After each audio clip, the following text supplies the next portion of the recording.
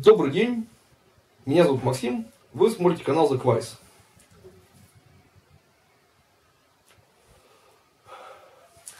Тема сегодняшнего видео – штрафы, дорожные штрафы и э, взаимоотношения с американской дорожной полицией.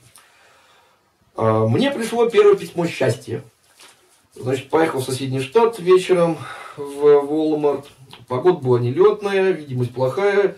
На перекрестке подрезали. В общем, короче, в результате получилось так, что пересекала перекресток уже на красный свет. Но доблестные американские полицейские установили специальное устройство на перекрестке. И те, кто едут с повышенной скоростью или едут на красный свет, все дело фиксируют и фотографируют. Вот прислали вот такую бумажечку. И все четко сфотографированная машинка, которая едет, даже номер. Все цветное, все такое очень-очень четкое. По сравнению, конечно, с той туфтой, которую в Москве присылают гаишники, это, конечно, как небо и земля. То есть тут все прям четко расписано. Но меня порадовало другое, да, кстати говоря. Значит, э, вот за пересечение перекресток на красный свет я должен буду ослюнявить дядю Сэму 100 долларов. Порадовало другое. Порадовала вот такая вот бумажечка, разделенная на три части. Мне дается шанс. Первое. Я хочу добросовестно взять и оплатить этот штраф. Соответственно, я отрываю вот эту часть. Вот даже конвертик прилагается пустой. Представляете? И дальше что делаю? Или оплачиваю пейчеком, то есть подписываю его, вношу сюда свои данные, отрываю эту бумажечку, кладу в конвертик, несу на почту по дороге и отправляю с пейчеком. Или же тут указан у меня веб-сайт, я захожу на веб-сайт и оплачиваю визой, там, мастер-картом, пластиком, короче, любым. Вот. Тоже не уходя из дома это могу сделать, то есть экономия времени. И все. То есть вот я взял, нарушил что-то, пришел такой папир, и пять минут времени я все проблемы решил, занимаюсь дальше своей деятельностью, ни о чем не парюсь. То есть не выставляю там очередях в Сберкассу, не еду там в группу разборов, там, мне не выносят мозг гаишники, все, понимаете, нормальное человеческое отношение. Скорее всего, я штраф заплачу, потому что я добросовестный гражданин. Да, я тут не уверен, что я виноват, потому что меня подрезали. Но, конечно, все это накосорезил я. Надо было мне самому думать, на мигающий желтый, не выезжать на перекресток, остановиться и дождаться. Согласитесь, в общем, все логично и разумно. В другой раз мне будет наука ездить аккуратно и медленно, и не лихач. Вариант второй. А если мы машину угнали, я отрываю вот эту часть центральную, все выбрасываю, заполняю и пишу, да, мою машину угнали, это не я там накосячил. Прилагаю номер здесь вот кейса по угнанной машине и отправляю, и тоже про это забывают. Уже не моя головная боль.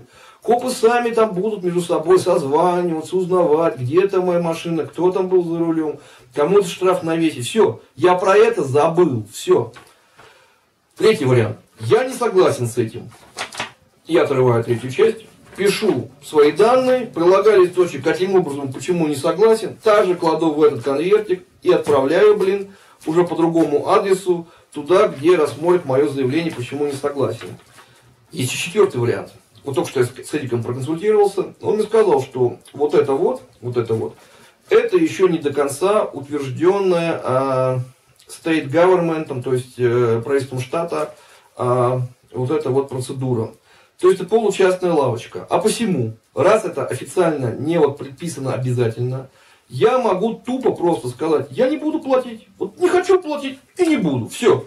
Что они могут в этом случае сделать? Они могут на меня подать в суд. То есть меня могут вызвать в суд соседний штат Конселблас и за 100 долларов меня начать судить. Как правило, об этом уже в местной газете писали.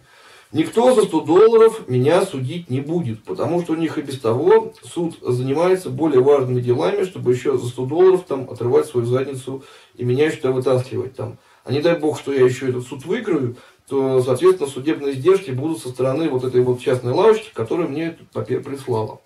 То есть, э, четыре целых варианта, что я могу сделать с этим штрафом. Заплатить и три варианта забить болт разным способом.